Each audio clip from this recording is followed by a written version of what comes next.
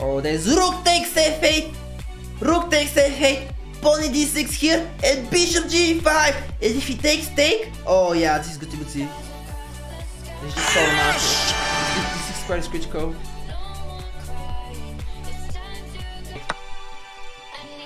Actually, pawn takes f8 is probably losing for me. This guy.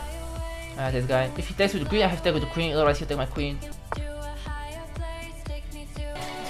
My conscience is screen.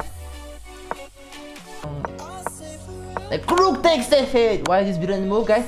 The d6 square. This square is much better. Rook g7!